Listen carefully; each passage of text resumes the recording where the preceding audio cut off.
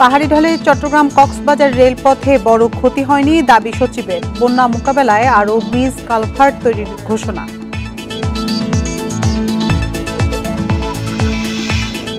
প্রবল বন্যায় রাঙামাটির বিলাইছড়িতে মানবেতর অবস্থায় অনেকে চাল ছাড়া কোনো সহায়তা না পাওয়ার অভিযোগ।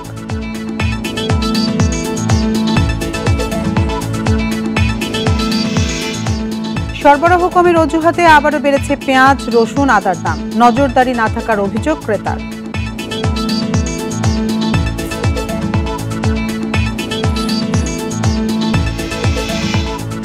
সাগরে প্রচুর ইলিশ পাচ্ছেন কুয়াকাটা জেলেরা। আড়তে ফিরেছে কর্মচাঞ্চল্য, প্রতিদিন বিক্রি হচ্ছে চার হাজার মন।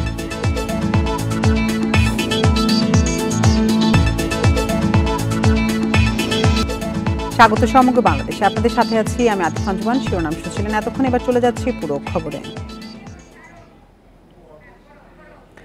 দোহাজারি কক্সবাজার রেললাইন প্রকল্পে বন্যায় পাঁচশো মিটার ক্ষতিগ্রস্ত হয়েছে, যা খুবই সামান্য বলে দাবি করেছেন রেল সচিব ডক্টর মোহাম্মদ হুমায়ুন কবির। সকালে চট্টগ্রামে রেললাইনের ক্ষতিগ্রস্ত এলাকা পরিদর্শনের সময় একথা জানান তিনি।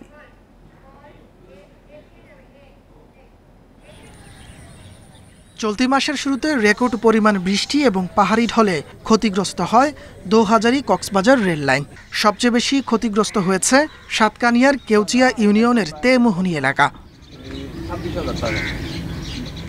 শুক্রবার সকালে রেল লাইনের ক্ষতিগ্রস্ত এলাকা পরিদর্শনে যান রেলপথ মন্ত্রণালয়ের ঊর্ধ্বতন কর্মকর্তারা। তাদের দাবি, কেবল পাঁচশো মিটার জায়গা ক্ষতি হয়েছে, যার পরিমাণ সামান্য। সামনে বন্যা ঠেকাতে প্রয়োজন অনুযায়ী আরও ব্রিজ ও কালভার্ট তৈরির কথা জানান তারা। দেখেছেন মাত্র এই পাঁচশো মিটারের জায়গা। কিছু তাও একদম একটানা না কোথাও। কিছু কিছু জায়গা এবং মূল যে এই লাইনের স্ট্রেংথ যেটা এম্ব্যাঙ্কমেন্ট আমরা বলি এটার কোথাও কিন্তু হয় নাই। এই জন্য আমি আসলে সরজমিনে দেখতে এসেছি যে মনে হচ্ছিল পত্রিকার রিপোর্ট দেখে যে এম্ব্যাঙ্কমেন্ট ভেসে চলে গিয়েছে, ভেঙে। এরকম কিন্তু না। ঠিকাদারি প্রতিষ্ঠান বলছে নির্দিষ্ট সময়ের মধ্যে শেষ হবে প্রকল্পের কাজ। এছাড়া ক্ষতিগ্রস্ত রেল লাইনের কাজও দ্রুত শেষ করা হবে। এই কাজটা কিন্তু আলাদা কোনো কাজ না। এই পুরো প্রজেক্টের জন্য এই কাজটা খুবই সামান্য। সিমেন্টিনিয়াসলি অন্য কাজ চলতে থাকবে এই মেনটেন্সটাও চলতে থাকবে। এটার জন্য আলাদা কোনো সময় বেঁধে দেওয়ার কোনো দরকার হবে না। পরিকল্পনা অনুযায়ী অক্টোবর মাসেই প্রকল্পের উদ্বোধন এবং ট্রেন চলাচল শুরুর আশা জানান কর্মকর্তারা। ইন্ডিপেন্ডেন্ট নিউজ টানা বৃষ্টিতে সবচেয়ে বেশি ক্ষতি হয়েছে রাঙামাটির বিলাইছড়ির ফারুয়া ইউনিয়ন। স্মরণকালের আকস্মিক বন্যায় বাসস্থান হারিয়ে নিঃস্ব কয়েকশো পরিবার। জেলা প্রশাসনের কাছ থেকে চাল ছাড়া আর কোনো সহায়তা পাননি বলে অভিযোগ তাদের। এতে মানবেতর দিন কাটছে পরিবারগুলোর। কয়েকদিনের টানা বৃষ্টি ও ঢলে রাঙামাটির রাইংখং নদীর পানি বেড়ে প্লাবিত হয় বিলাইছড়ির ফারুয়া ইউনিয়নের ষোলোটি গ্রাম। তলিয়ে যায় নদী তীরের হাজারো বাড়িঘর। নষ্ট হয় ধানক্ষেত ও বীজতলা। ঢলের পানিতে ভেসে গেছে একশো চুয়ান্নটি ঘর। ক্ষতিগ্রস্ত হয়েছে আরও এক হাজার একশো চুয়াত্তরটি বসতবাড়ি। ক্ষতিগ্রস্তরা জানান, মাথা গোজার ঠাই হারিয়ে তাদের দিন কাটছে খোলা জায়গায়।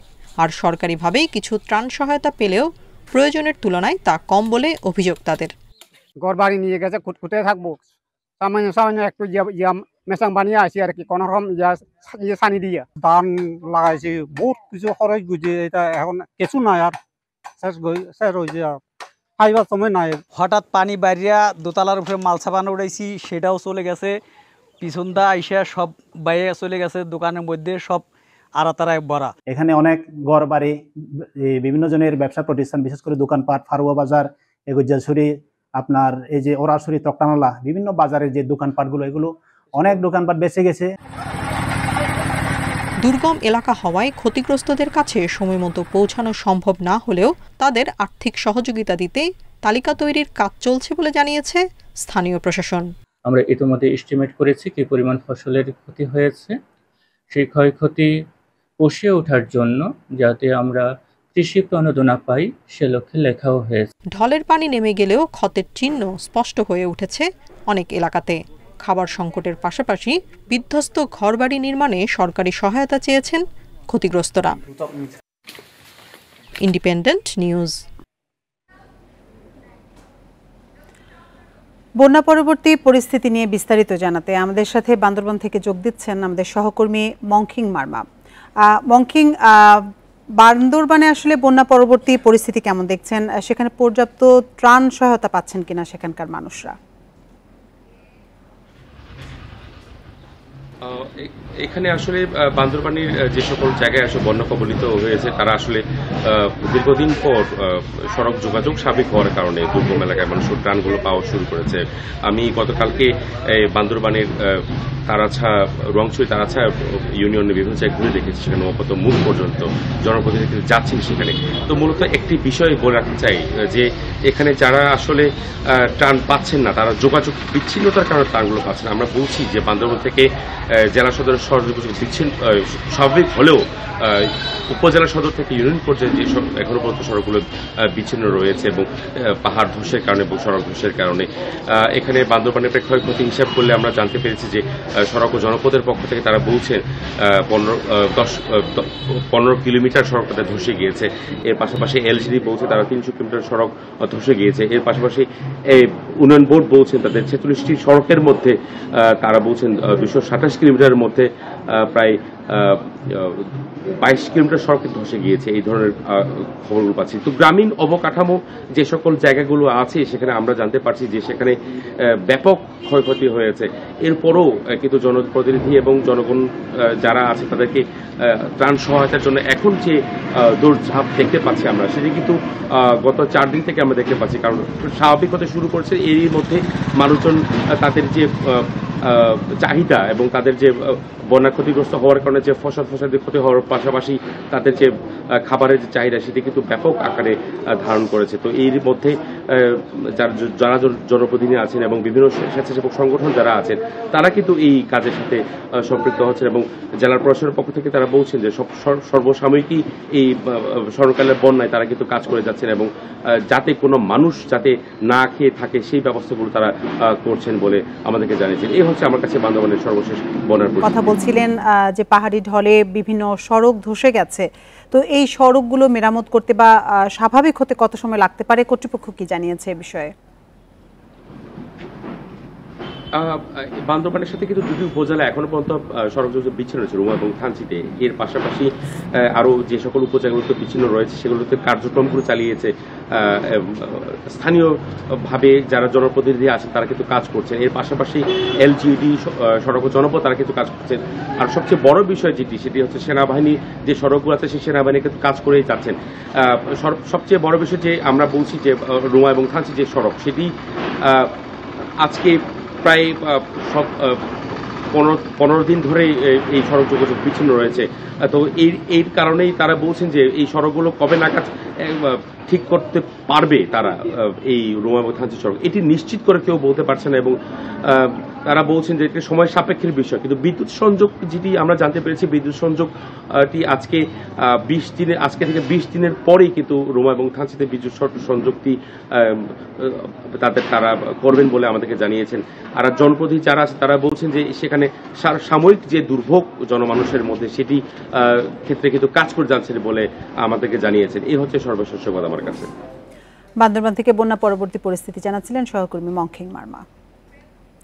রাজধানী বাইরের বাজারে ডিমের দাম কমতে শুরু করলেও স্বস্তি কেড়ে নিয়েছে সবজি। এর মধ্যে পেঁয়াজ, রসুন ও আদার দামও বাড়তি। বৈরি আবহাওয়ায় সরবরাহ কমের অজুহাত বিক্রেতাদের। আর বরাবরের মতো নজরদারি না থাকায় যথেচ্ছ দাম হাঁকার অভিযোগ ক্রেতাদের। কয়েকদিনের অভিযানের পর ডিমের দাম কিছুটা কমেছে চট্টগ্রামে। সপ্তাহের ব্যবধানে ডিমের ডজন বিশ থেকে পঁচিশ টাকা কমে বিক্রি হচ্ছে একশো চল্লিশ থেকে একশো পঁয়তাল্লিশ টাকায়। সব ধরনের মুরগির দামও কিছুটা কমেছে তবে সবজির বাজার কেড়ে নিয়েছে স্বস্তি। বৈরী আবহাওয়ার অজুহাতে বেশিরভাগ সবজির দাম বেড়েছে। ফার্ম মুরগি একশো পঁচাত্তর টাকা ছিল গত সপ্তাহে এখন একশো সত্তর টাকা। আর সোনালী মুরগি তিনশো টাকা ছিল এখন তিনশো তিরিশ টাকা। খুলনায় ডিমের দাম কমলেও বেড়েছে পেঁয়াজ ও রসুনের দাম। সবজির দামও গত সপ্তাহের তুলনায় বাড়তি বলছেন ক্রেতারা। রসুন গ্যাসের সপ্তাহে ছিল দুইশো দশ বিশ এই সপ্তাহে দুইশো চল্লিশ পঞ্চাশ। কাঁচামরিচ তো আছেই দুশো টাকার নিচে আসেনি এখনও। এরকম সব কিছু চলতেছে আর কি। আবার পেঁয়াজের দামও নতুন করে বাড়ছে আর কি। সিলেটের সবজি ছাড়াও বেড়েছে রসুনের দাম। সপ্তাহের ব্যবধানে পাঁচ টাকা বেড়ে বিক্রি হচ্ছে দুশো বিশ টাকায় বেড়েছে আদার দামও। বাজার যদি এক হাজার টাকা আনি একটু মাছও কেনা যাবে না একটু গোছও কেনা যাবে না। সাধারণ যেভাবে তেল নুন লবণ এই কিনলে শেষ হয়ে যায়। ষাট টাকা পঁচপান্ন টাকা ষাট টাকা হয়ে গেছে। পাঁচচল্লিশ টাকা আটচল্লিশ টাকা যে পেঁয়াজগুলো। আর আলু আগে আসছিল আটত্রিশ টাকা ওখানে এসে চল্লিশ টাকা। এটা যাদের অগাধ টাকা পয়সা আছে যেভাবে হোক তাদের পক্ষেই সম্ভব। সাধারণ পক্ষে সম্ভব না।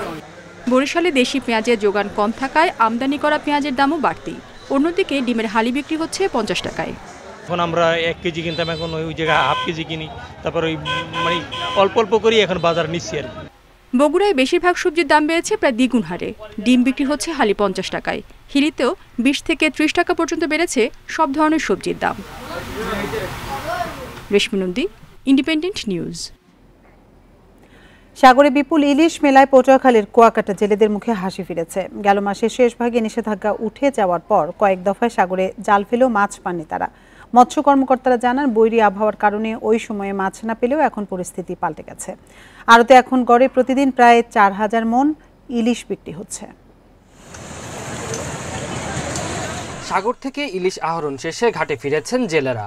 এই চিত্র পটুয়াখালীর কুয়াকাটার। অথচ এক সপ্তাহ আগেও অবস্থা ছিল ভিন্ন। গেল চব্বিশ জুলাই মাছ ধরা নিষেধাজ্ঞা ওঠার পর কয়েক দফায় সাগরে যান জেলেরা।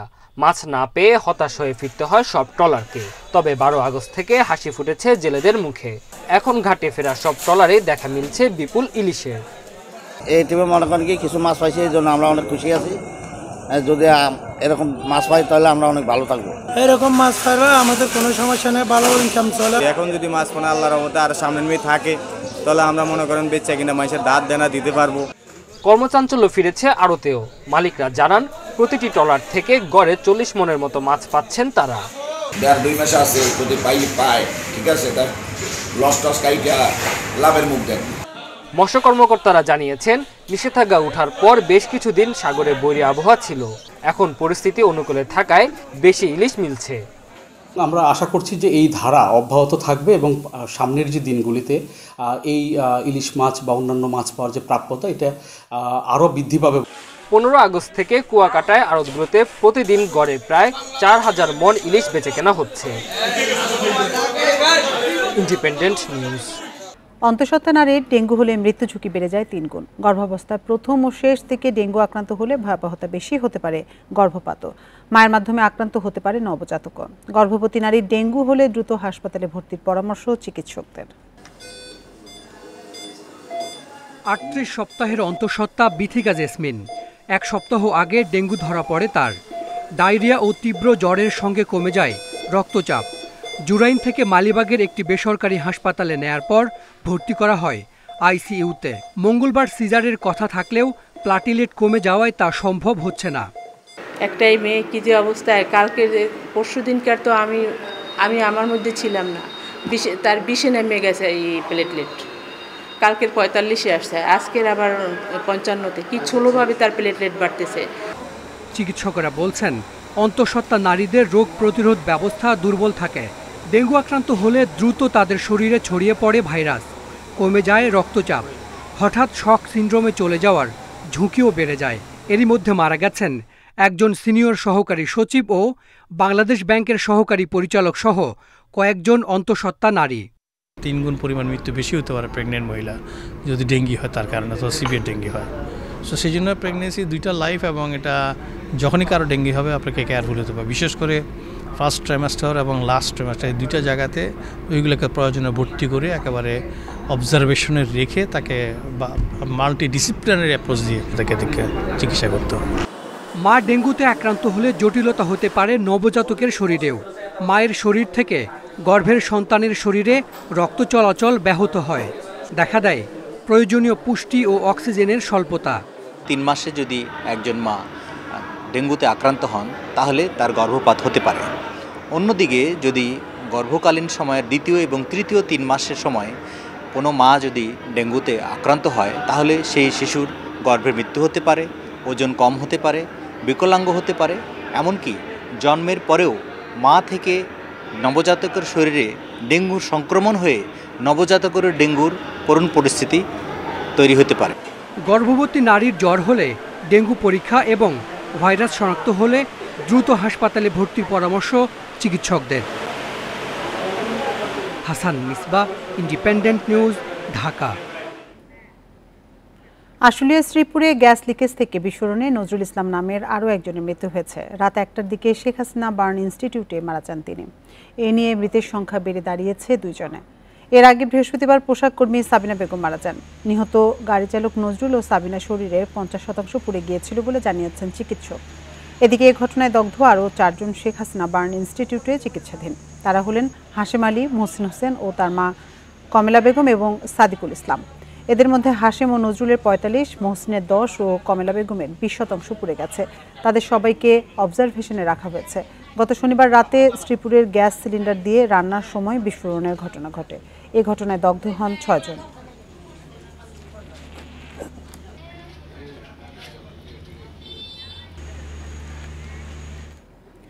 নেত্রকোনার কলমাকান্দায় একটি বাজারে আগুনে পুড়েছে এগারোটি দোকান। এতে প্রায় কোটি টাকার ক্ষতি হয়েছে বলে দাবি দোকান মালিকদের। সকালে সীমান্তবর্তী এলাকা লেঙ্গুড়া বাজারে এই ঘটনা ঘটে। ফায়ার সার্ভিস জানায়, সকাল দশটার দিকে বাজারের একটি দোকান থেকে আগুনের সূত্রপাত।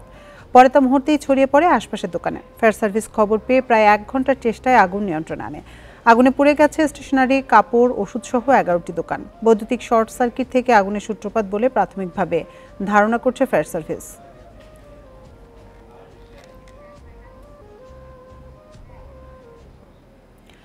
পিরোজপুর সদরে নিজ বাসা থেকে এক নারীর মরদেহ উদ্ধার করেছে পুলিশ। চুরির পর তাকে হত্যা করা হয়েছে বলে দাবি পরিবারের। রাতে শহরের উত্তর শিকারপুর এলাকায় এই ঘটনা ঘটে। নিহতের স্বামী জানান, কাজ থেকে বাড়ি ফিরে ঘরের মেঝেতে স্ত্রী হাসি, রানী ঘরামির মরদেহ পড়ে থাকতে দেখেন তিনি। এ সময় তার স্ত্রীর গলার স্বর্ণের চেইন ও কানের দুল ছিল না বলে দাবি তার। তবে ঘরের আর কিছু চুরি যায়নি। ঘটনা তদন্ত করে দেখা হচ্ছে বলে জানিয়েছে পুলিশ।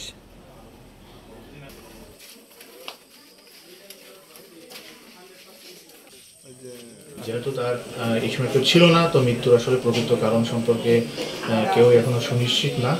আমরা এখন একটা অপমৃত্যু মামলা নিব এবং লাশ ময়নাতদন্তের জন্য পাঠাবো। ময়নাতদন্তের মাধ্যমে জানা যাবে মৃত্যুর প্রকৃত আসলে কারণটা কি, কী কারণে ওনার মৃত্যু হয়েছে। স্বল্প খরচে উদ্যোক্তাদের আধুনিক প্রযুক্তির সেবা দিতে এসএমই ফাউন্ডেশনের উদ্যোগে দেশে প্রথমবারের মতো ক্লাস্টার ভিত্তিক কমন ফ্যাসিলিটি সেন্টার উদ্বোধন করা হয়েছে। দুপুরে রাজশাহীর চারঘাট উপজেলার কালুহাটি পাদুকাপল্লীর কার্যক্রম উদ্বোধন করেন পররাষ্ট্র প্রতিমন্ত্রী শাহরিয়ার আলম। এ সময় মন্ত্রী বলেন, সরকার দেশে মানুষের ভাগ্য উন্নয়নে কাজ করে যাচ্ছে। ক্ষুদ্র শিল্পের উন্নয়নে রাজশাহীর চারঘাট উপজেলার কালুহাটি গ্রামে পাদুকা শিল্পের মান উন্নয়নে সরকারের চেষ্টাকে এগিয়ে নিতে কাজ করছে এসএমই ফাউন্ডেশন। এতে করে কালুহাটির এ শিল্প দেশের গণ্ডি পেরিয়ে আন্তর্জাতিক বাজারেও ছড়িয়ে পড়বে বলে জানান প্রতিমন্ত্রী। চব্বিশ সালের মাঝামাঝি থেকে শুরু করে শেষ হওয়ার আগেই কালুয়াটি পাদুকা শিল্প এমন ব্যবহার, এমন প্রমাণ, এমন উদাহরণ সৃষ্টি করবে। বাকি পঞ্চাশ শতাংশ শুধু নয় আরও বাড়তি কিছু এসএ ফাউন্ডেশন দু হাজার চব্বিশ সালে আপনাদেরকে উপহার দেবে, যেটার মাধ্যমে আপনারা এগিয়ে যাবেন। মুন্সীগঞ্জের শ্রীনগরে বঙ্গবন্ধু এক্সপ্রেসওয়ের ছনবাড়ি এলাকায় বাসের ধাক্কায় আমির হোসেন নামে এক মোটরসাইকেল আরোহী নিহত হয়েছে। এ ঘটনায় মোটরসাইকেলের পেছনে থাকা নিহতের ছেলে বিল্লাল হোসেন আহত হয়েছেন। পুলিশ জানিয়েছে, দুপুরে এক্সপ্রেসওয়ের ছনবাড়ি এলাকায় ঢাকামুখী লেনে একটি বাস মোটরসাইকেলটিকে ধাক্কা দিলে মোটরসাইকেলে থাকা বাবা ছেলে গুরুতর আহত হয়। পরে তাদের উদ্ধার করে শ্রীনগর স্বাস্থ্য কমপ্লেক্সে পাঠানো হলে চিকিৎসক আমির হোসেনকে মৃত ঘোষণা করেন। এর আগে সকালে সাতক্ষীরার ত্রিশ মাইল এলাকায় বাসের ধাক্কায় মাহমুদুল ইসলাম নামে আরেক মোটরসাইকেল আরোহী নিহত হয়েছেন। এ ঘটনায় আহত হয়েছেন আরও একজন।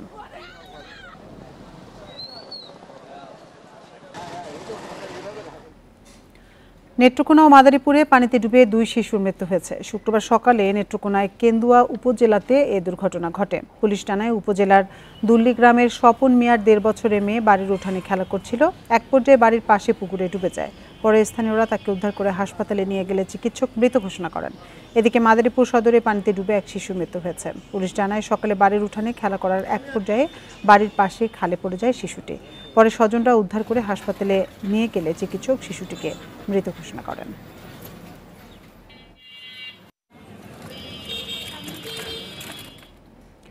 কিশোরগঞ্জের মিঠামইন হাওড়ে মাছ ধরতে গিয়ে নিখোঁজ হওয়ার ২৬ ঘণ্টা পর সৈয়দ মিয়া নামে এক জেলের মরদেহ উদ্ধার করেছেন স্থানীয়রা। সকালে মিঠামইন সদর ইউনিয়নের মেষ্ঠা গ্রামের পাশে হাওড়ে ভাসমান অবস্থায় মরদেহ দেখে উদ্ধার করা হয়। পুলিশ জানিয়েছে, বৃহস্পতিবার সকালে সৈয়দ মিয়া উপজেলার ঢাকি ইউনিয়নের মাহমুদপুর বাজার এলাকার হাওড়ে মাছ ধরতে যান। মাছ ধরার এক পর্যায়ে পানির নিচে জাল আটকা পড়লে জাল ছড়ানোর জন্য পানিতে ডুব দিয়ে নিখোঁজ হন তিনি। নিখোঁজের খবর পেয়ে ফায়ার সার্ভিসের পাঁচ সদস্যের ডুবুরি দল উদ্ধার কাজ শুরু করে। পরে সন্ধ্যায় অন্ধকার ও স্রোতের কারণে উদ্ধার কাজ বন্ধ রাখে ফায়ার সার্ভিস। পরে স্থানীয়রা মরদেহ ভাসতে দেখে উদ্ধার করে নিহতের বাড়িতে নিয়ে যায়।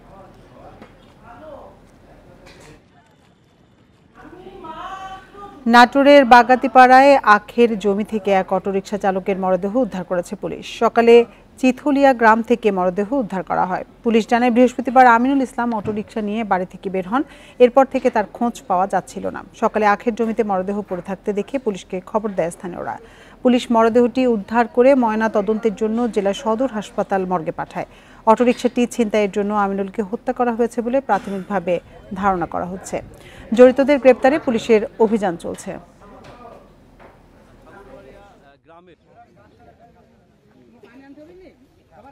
নানা কর্মসূচির মধ্য দিয়ে জাহাঙ্গীরনগর বিশ্ববিদ্যালয়ে প্রখ্যাত নাট্যকার ও নাট্যাচার্য সেলিম আলদিনের চুয়াত্তরতম জন্মবার্ষিকী পালন করা হয়েছে। এ উপলক্ষে বিশ্ববিদ্যালয়ের নাটক ও নাট্যতত্ত্ব বিভাগের পক্ষ থেকে শোভাযাত্রার আয়োজন করা হয়। শোভাযাত্রাটি বিশ্ববিদ্যালয়ের পুরাতন কলাভবন থেকে শুরু হয়ে সেলিম দিনের সমাধিস্থলে গিয়ে শেষ হয়। এতে নাটক ও নাট্যতত্ত্ব বিভাগের শিক্ষক, শিক্ষার্থী ছাড়াও অংশ নেয় সাধারণ শিক্ষার্থী সহ সংস্কৃতি অঙ্গনের ব্যক্তিবর্গ সহ নাট্য অনুরাগীরা। পরে তার সমাধিতে ফুলেল শ্রদ্ধা নিবেদন করেন তারা। এছাড়া তার জন্মবার্ষিকী উপলক্ষে দিনব্যাপী নানা আয়োজন করা হয়। উনিশশো চুয়াত্তর সালে তিনি জাহাঙ্গীরনগর বিশ্ববিদ্যালয়ের বাংলা বিভাগের প্রভাষক হিসেবে যোগ দেওয়ার পর নাটক ও নাট্যতত্ত্ব বিভাগ প্রতিষ্ঠা করেন।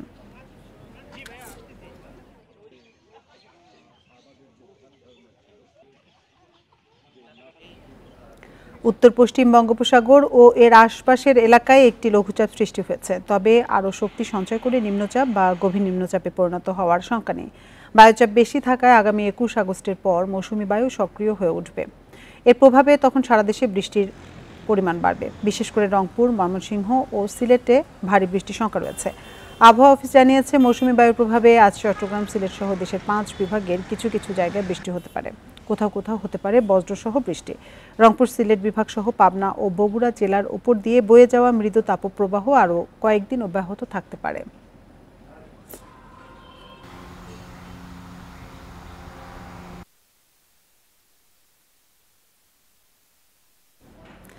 দেশের দক্ষিণাঞ্চলে ফসল সংগ্রহ, পরিবহন এবং বাজারে পৌঁছানোর জন্য নৌকা অন্যতম বাহন। বর্ষা শুরু হলেই এই অঞ্চলে নৌকার কদর বেড়ে যায়। এতে দক্ষিণাঞ্চলের বৃহত্তম নৌকার হাট, আটঘর সহ আশপাশের বিভিন্ন নৌকা বিক্রির হাটগুলো এখন ক্রেতা বিক্রেতা সমাগমে মুখর।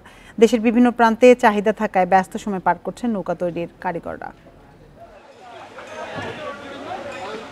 বর্ষায় দক্ষিণাঞ্চলের জেলাগুলোতে বেড়ে যায় নৌকার চাহিদা। জমি থেকে ফসল সংগ্রহের পর নিয়ে যাওয়া বাজারে পৌঁছানো সব কাজে নৌকাই প্রধান ভরসা। ঝালকাঠি ও পিরোজপুরের মধ্যবর্তী সরবকাঠির আটঘর হাট থেকে নৌকা যায় বরিশাল ফরিদপুর সহ আশপাশের বিভিন্ন এলাকায়। সেসব স্থান থেকে আসা ক্রেতা ও স্থানীয়দের সমাগমে জমজমাট হাট। আজকে এখন নৌকা কিনছি ছাব্বিশশো টাকায় ছাব্বিশ টাকা কিনছি আর বইটা কিনতে আসছি এখন দেড়শো টাকায়। আমি একটা নৌকা কিনছি তিন হাজার টাকায় গতবারে চাইতে এবার একটু দাম বেশি। এই অঞ্চলে সব জায়গায় পানি বৃষ্টিতে হইলে পানিতে বোঝাই হয়ে যায় নৌকা লাগে বুঝছেন? কেনা বেচা ভালো বর্তমানে বুঝছেন? চাহিদার যোগান দিতে দিনরাত ব্যস্ত এখন কারিগরেরা। তবে কাঠ লোহাসহ নৌকা তৈরির বিভিন্ন উপকরণের দাম বাড়ায় হতাশা তাদের কণ্ঠে। আমাকে তেমন লাভের চৌক আমরা তেমন দেখি না। যারা কিনে বিক্রি করে তাদের কিছু লাভ হয় বেচা কিনেও ভালো হয়। একটা নৌকা খরচ যায় চার হাজার টাকা বিক্রি করা লাগে চার হাজার টাকা। তাহলে মজুরি তো থাকেই না। নৌকা কারিগরদের জন্য স্বল্প সুদের ঋণ সুবিধা দিচ্ছে ঝালকাঠি বিসিক শিল্প সহায়ক কেন্দ্র। আমাদের বিসিক জেলা কার্যালয়ে আসে এবং বিসিকের দ্বারস্থ হয় তাহলে আমরা তাদেরকে ঋণ সুবিধা সহ বিভিন্ন ধরনের সার্বিক সহযোগিতা করতে সক্ষম হব এবং তারা আমাদের থেকে সাহায্য পাবে। এক একটি নৌকা বিক্রি হয় দুই থেকে পাঁচ হাজার টাকায়। বর্ষা মৌসুমে এক থেকে দেড় কোটি টাকার বেচাকেনা হয় এই হাটে। Independent News. বর্ষায় জলরাশি আর সাদা মেঘের অপরূপ সৌন্দর্য উপভোগ করতে সুনামগঞ্জের টাঙ্গুয়ার হাওড়ে ছুটছেন পর্যটকরা। অগণিত পাখির কলতান আর করো ছিজল বনের অপরূপ সৌন্দর্যে মুগ্ধ হচ্ছেন অনেকেই। তবে পর্যটকদের জন্য গড়ে ওঠেনি আধুনিক সুযোগ সুবিধা। কখনো আকাশের মতো নীল, কখনো আয়নার মতো স্বচ্ছ, এমন স্নিগ্ধ রঙে রাঙা পানিতে টৈটম্বুর হাওর বাউর, অগন্তি পাখির কলতান আর করচ হিজলবনের অপরূপ সৌন্দর্যের সমাহারের দেখা মিলেছে টাঙ্গুয়ার হাওরে।